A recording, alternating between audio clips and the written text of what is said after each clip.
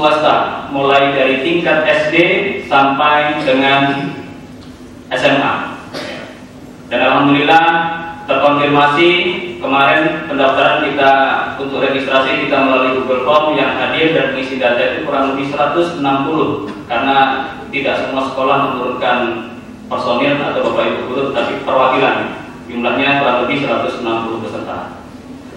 Dan kemudian mengapa musda ini penting?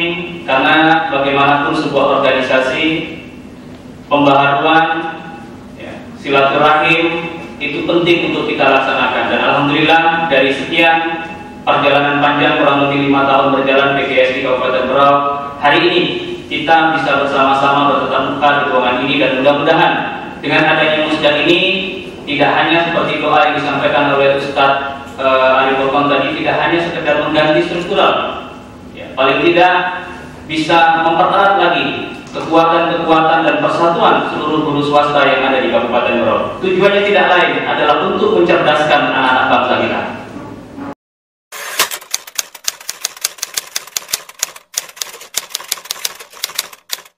Alhamdulillah lima tahun berjalan tentu kita ingin lebih baik.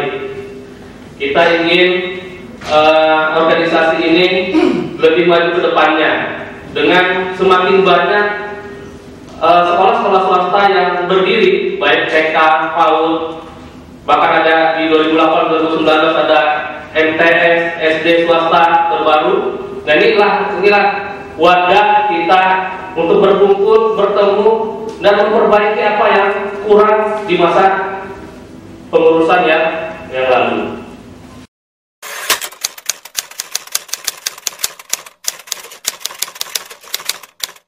di tahun 2005 Bapak Ibu yang berbahagia Bapak Ibu Bakti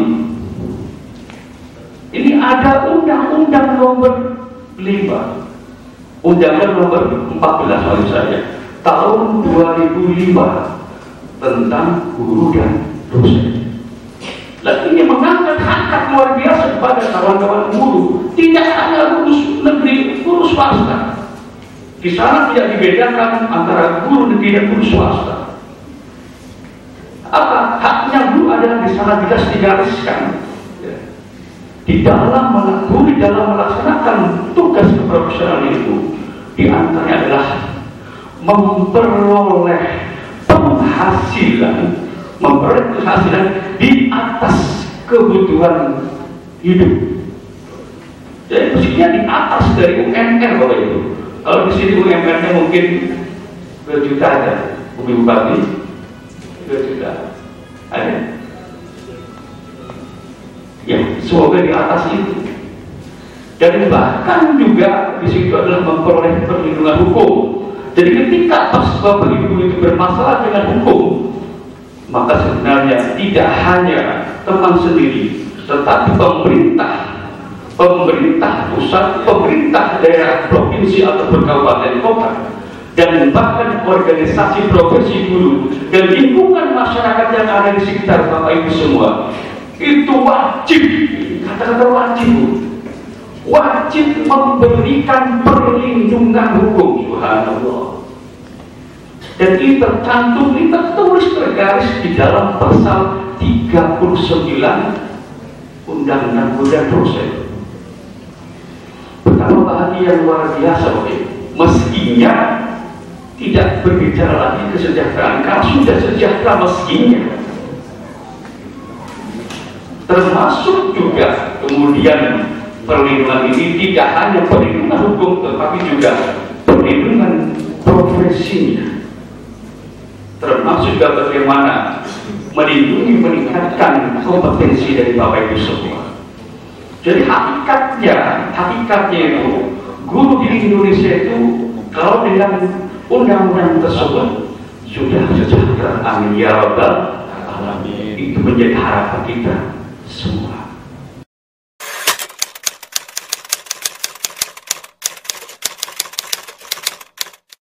Bapak Ibu yang berbahagia pada hari ini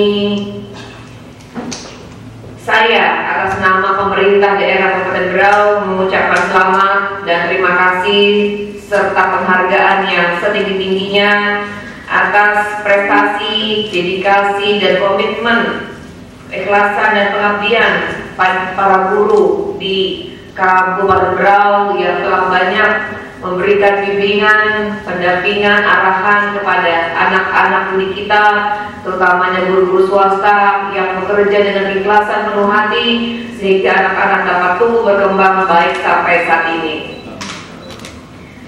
Bersama-sama kita hadir pada acara pembukaan musyawarah daerah DPD Persatuan Guru seluruh Indonesia. Ini adalah bentuk dedikasi dan salah satu bentuk pengabdian Bapak semuanya untuk bisa melakukan koordinasi-koordinasi baik pada musda yang pertama ini agar ke depan pengabdian serta pendampingan dan pembinaan kepada anak-anak yang kita cintai murid-murid kita lebih baik lagi untuk mencetak calon-calon pemimpin di masa depan. Dan ini tentu saja akan membawa kebaikan serta keberkahan dan kemanfaatan bagi anak-anak didik kita, generasi penerus bangsa yang kelak akan melanjutkan perjuangan kita di tonggak kepemimpinan di bagi wakil yang tercinta ini. Dan kita sadari bersama bahwa guru adalah merupakan faktor penentu utama dalam proses pendidikan dan pembelajaran baik formal maupun non formal hanya dengan sentuhan guru-guru profesional yang bekerja dengan hati, bermartabat, terlindungi, sejahtera, maka anak Indonesia akan menerima proses pembelajaran yang edukatif dan bermutu baik.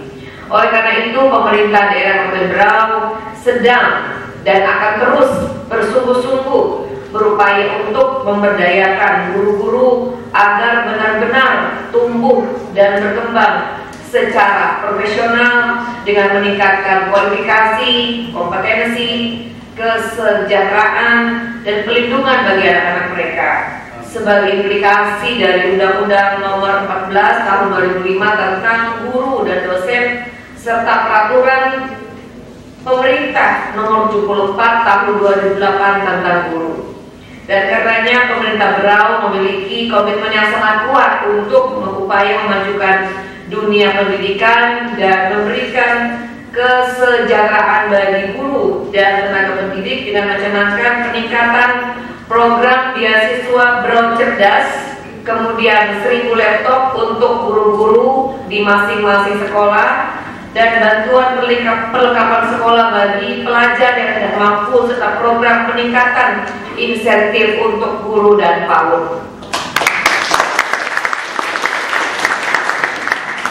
Ini adalah merupakan janji politik saya yang kami sampaikan di saat kami akan menjadi kepala daerah di beberapa waktu yang lalu dan tentu saja semua itu tidak akan bisa kami maksimalkan dalam waktu yang cepat tetapi kami sedang upayakan secara bertahap dan untuk saat ini di tahap awal sedang kami upayakan pengadaan laptop bagi uh, guru-guru walaupun tidak semuanya uh, tidak ada uh, media yang bisa mempercepat akses informasi melalui sekolahnya dan kami menyadari Bapak-Bapak sekalian sumber daya guru dan profesional dalam jumlah yang mencukupi, mencukupi bukanlah perkara yang mudah. Terlebih di wilayah Kabupaten Berau yang terbagi di 13 kecamatan dengan keadaan letak geografis yang bervariasi dan medannya yang ada yang terjangkau, ada yang cukup sulit, membuat ketersediaan guru tidak hanya mendesak secara kuantitas, namun juga secara kualitas sangat dibutuhkan apalagi di era adaptasi kebiasaan baru selama pandemi COVID-19 sekarang ini di mana sekolah-sekolah sudah mulai menjalankan pembelajaran tetap muka tetapi harus juga masih mematuhi aspek protokol kesehatan. Model pembelajaran baru seperti ini mungkin dirasa kurang nyaman bagi siswa dan guru, tapi nyatanya kita tidak punya pilihan lain. Tentu kita tidak ingin mengambil resiko penularan COVID-19 ketika sekolah tetap berjalan sebagaimana biasa. Dan meski begitu, saya kira kita tetap harus mampu beradaptasi dengan berbagai upaya untuk memaksimalkan proses belajar mengajar yang tetap efektif meski dengan suasana yang berbeda seperti biasa. Bapak Ibu guru yang berbahagia sebagai bagian dari upaya untuk memberdayakan guru secara profesional, eksistensi organisasi profesi guru seperti PGSI sangat dinantikan dedikasinya untuk menjadi mitra pemerintah dalam meningkatkan profesionalitas dan kesejahteraan guru demi terwujudnya peningkatan mutu pendidikan.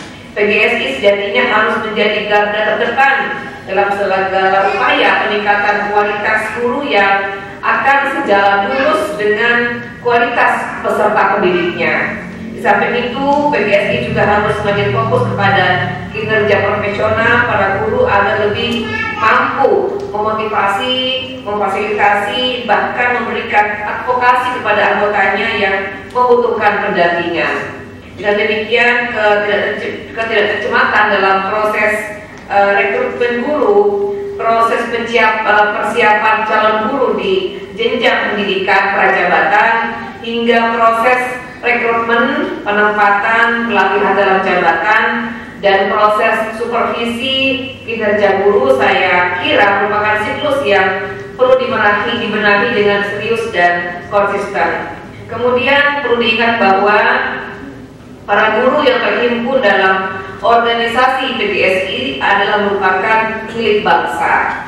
Dalam hal ini milik masyarakat Kabupaten Berau, sehingga mempunyai kewajiban moral dalam menjaga uh, independensinya semata-mata untuk mengabdi kepada kepentingan bangsa dan daerah.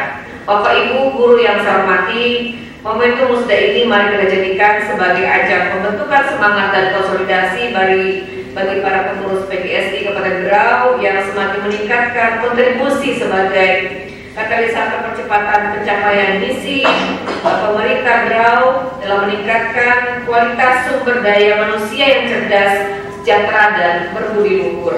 Sebab itu kita sadari bersama bahwa sumber daya manusia merupakan aspek yang penting dan paling utama dalam membangun suatu daerah yang mana salah satu upaya perwujudan manusia cerdas adalah dengan ketersediaan guru yang berkualitas. Dan kita semua sadari bahwa setiap organisasi dihadapkan berbagai permasalahan dan kendala pastinya. Oleh karenanya menurut kesempatan ini saya berpesan kepada segenap pengurus PGSI, PGSI Berau agar kiranya memiliki jiwa kepemimpinan yang handal, mampu bekerja dalam kebersamaan, senantiasa menjalin kekompakan dan saling memberikan dukungan supaya menjadi organisasi yang solid dan mampu mewujudkan segala cita-cita yang telah dirumuskan.